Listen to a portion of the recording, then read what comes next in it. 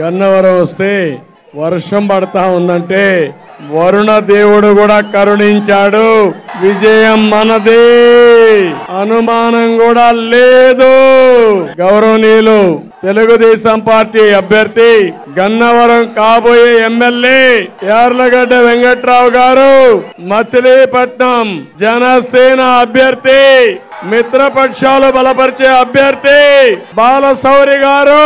వర్షంలో తడుస్తూ నాకు స్వాగతం పలికిన తెలుగుదేశం జనసేన బీజేపీ కార్యకర్తలు నాయకులు ప్రత్యేకంగా మా తెలుగింటి ఆడబిడ్డలు. వరుణ దేవుడు మిమ్మల్ని చూస్తే భయపడుతున్నాడు.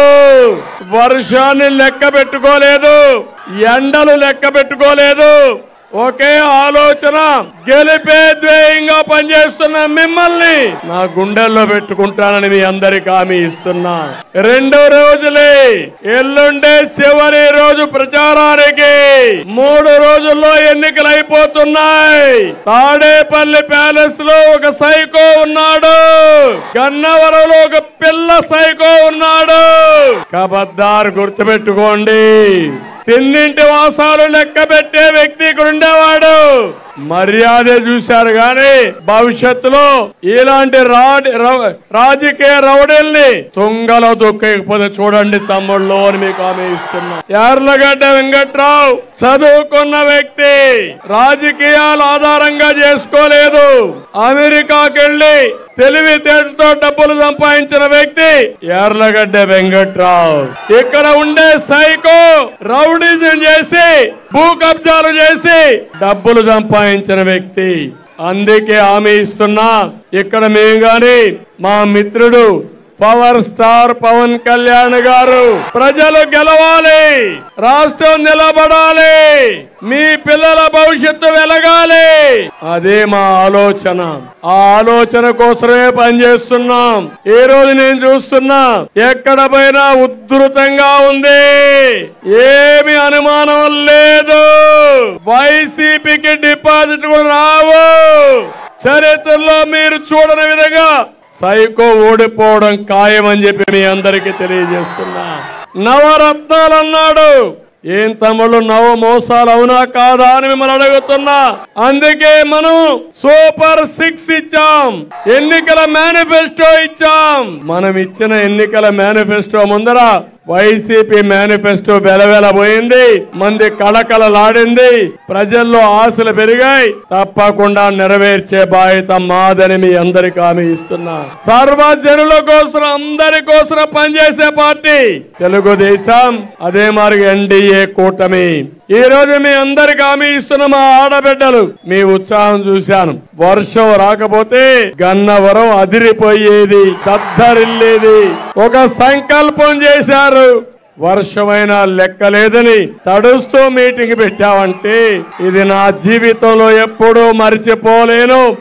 శాశ్వతంగా గుండెల్లో పెట్టుకుంటాను గుర్తు పెట్టుకుంటాను. గన్నవరం తెలుగుదేశం పార్టీకి కంచుకోట తొమ్మిది సార్లు ఎన్నికలు జరిగితే ఎనిమిది సార్లు ఇండిపెండెంట్తో కలిపి గెలిచింది ఇక్కడ మనమేనని చెప్పి నేను మీకు తెలియజేస్తున్నా ఇప్పుడు యార్లగడ్డ వెంకట్రావు గారి గెలుపు గోడ మీద రాసేసుకున్నాం. పిల్ల సైకో ఓడిపోవడం ఖాయం. ఎగిరిగిరి పడ్డావు. చెప్తున్నా నా దగ్గర తోక తిప్పితే తోక కట్ చేస్తాం తప్ప ఎవరిని వదిలిపెట్టాం. మా తమ్ముళ్ళు ఉన్నారు పోరాడారు.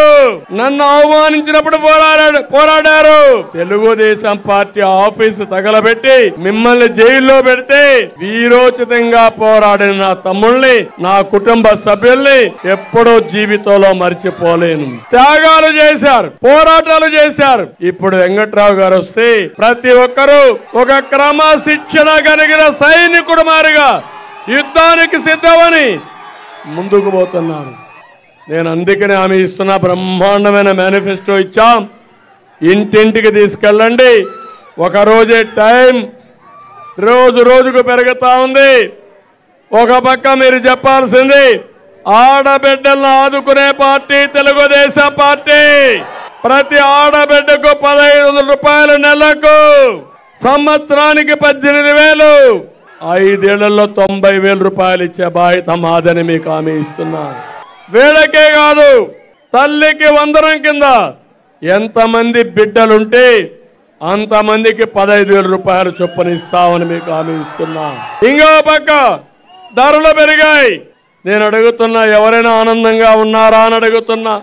పెట్రోల్ డీజిల్ ధరలు పెరిగాయా లేదా? కరెంటు ఛార్జీలు పెరిగాయా లేదా? మద్యం ధర పెరిగిందా లేదా?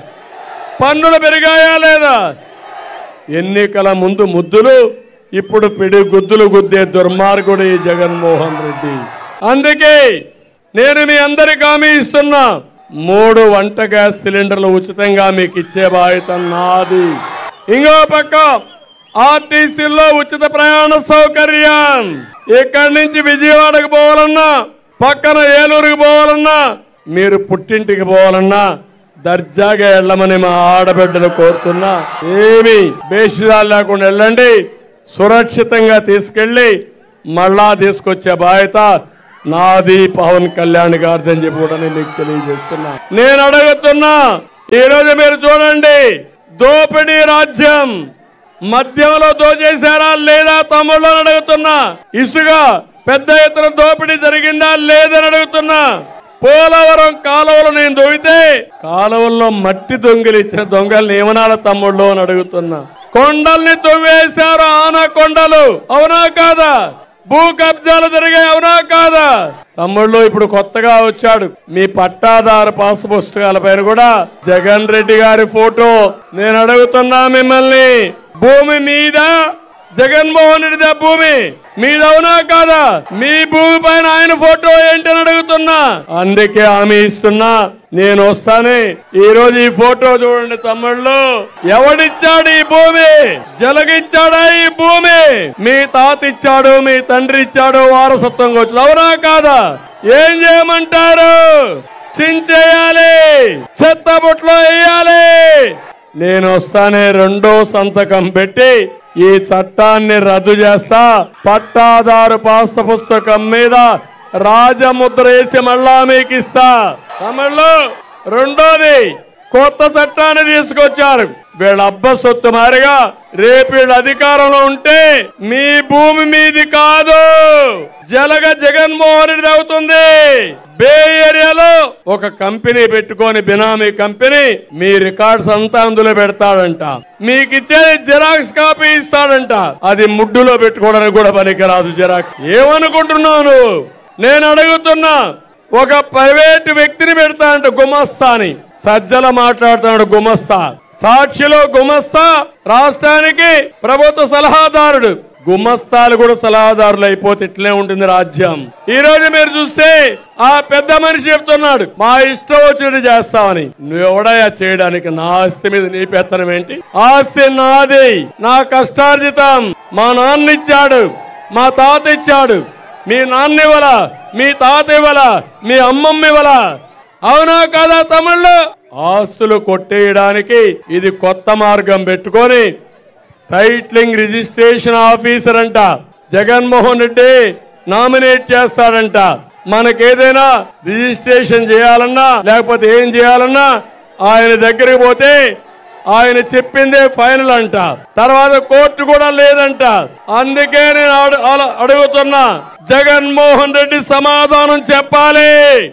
ప్రైవేట్ వ్యక్తుల్ని రిజిస్ట్రేషన్ ఆఫీసుగా టైటిల్ రిజిస్ట్రేషన్కి పెట్టావా లేదా అని అడుగుతున్నా. నీ ప్రైవేట్ వ్యక్తులు నా ఆస్తి కాపాడతారా తమ్ముళ్ళు?